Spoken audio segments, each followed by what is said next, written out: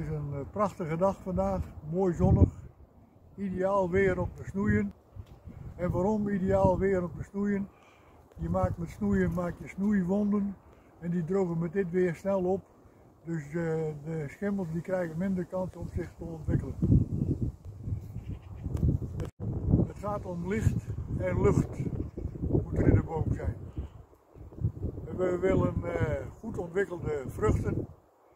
Die smaken over het algemeen beter dan eh, de kleine. En eh, we willen door middel van een goede snoei, snoei ook eh, schimmelvorming voorkomen. Elke vruchtboom is geënt op een onderstam. Je hebt verschillende soorten onderstammen. Maar hier zie je de end van deze, dit is dus de onderstam. En die, onder, die die moet altijd boven de grond zijn.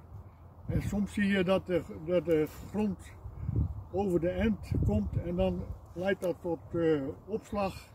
En dat moet altijd worden voorkomen. Maar deze, end, deze boom die staat dus eh, prachtig, de end dat staat mooi boven de grond. We gaan nu naar de vorm. Eigenlijk moet je de boom dwingen om vruchthout te maken.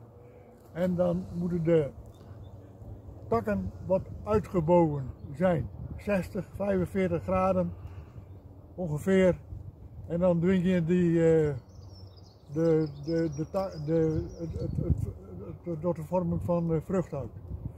De, deze boom die zou eigenlijk eh, nog wat ingekort moeten worden hier en daar. En de takken moeten wat meer zo. Dus we moeten eigenlijk met de uitbuigen met, eh, met touw. Licht, lucht, ruimte. Dus die takken die moeten elkaar niet in de weg zitten. En de vorm moet ook zijn, de stand moet goed zijn. Dus deze moeten worden uitgebogen met een touwtje en dan hier naartoe.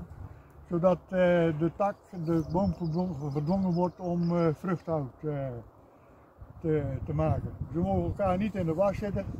En eh, deze die zou hier eigenlijk weg moeten. Even kijken. Dat we het goed kunnen zien. Die mooie tak gaat weg.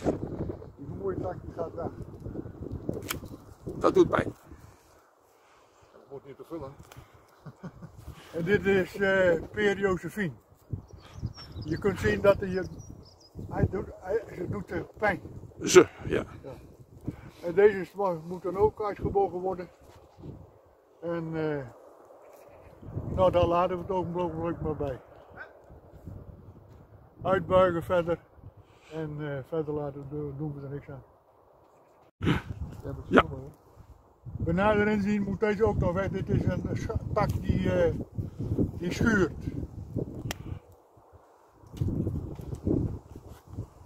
Mooi. Nou, laten we het hier maar even bij. Goedemorgen vrijwilligers, we zijn hier in onze fruitboom. Ik ben hier met Tjeerd en Hans. Wij vormen samen de, de werkgroep voor de, de fruitbomen en we gaan nu snoeien. We zijn op het ogenblik bezig met de vormsnoei. Dat wil zeggen dat we de bomen, eh, de jonge bomen in de vorm zetten, dat ze later, zoals Tjeerd al zei, veel lucht en licht binnenin hebben.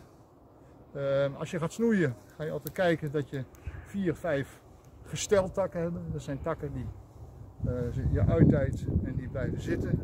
Dus als je gaat snoeien, niet te bang zijn en eh, gaat knippen.